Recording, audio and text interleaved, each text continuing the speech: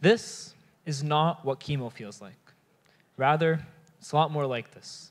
It's painful and it's boring.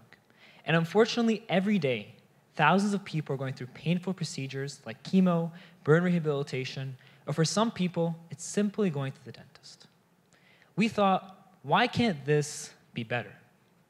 One of the best parts of flying is in flight entertainment, watching all your favorite TV shows and movie, movies while you comfortably go to your destination.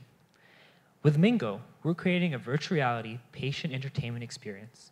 Virtual reality has been proven to significantly reduce pain, it's immersive, and it takes what used to be boring and makes it fun and exciting. Scientists have actually been experimenting with virtual reality for pain mitigation for the last 20 years.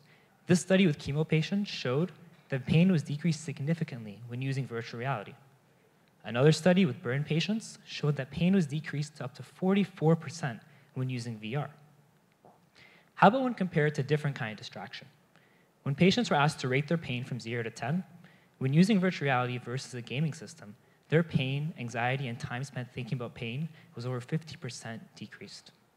However, unfortunately, this is not available as a solution for patients today. And that's what we're doing with Mingo. With Mingo, we're thinking about the details that allow us to make this into a solution. Things like sanitation, user experience, software, hardware, and advertising and subscription models that allow us to make this a sustainable business. And actually on the right here is one of our units already being used here in Waterloo. We started our pilot program back in December, with a dentist, got strong feedback from both patients and dentists, and we're in the process of expanding to four more clinics. The Velocity 5K is going to allow us to expand on our software and hardware. We start with dentists because they're accessible and an easy way to test our idea. However, our goal by the end of 2019 is to be in our first hospital helping patients with some of their most painful procedures. This is our team. Consists of my brother and I. We're both software engineers. I've worked in product management, and my brother has an interest in virtual reality and game engineering. Together, we believe that virtual reality has the potential to help thousands, if not millions, of people every single day.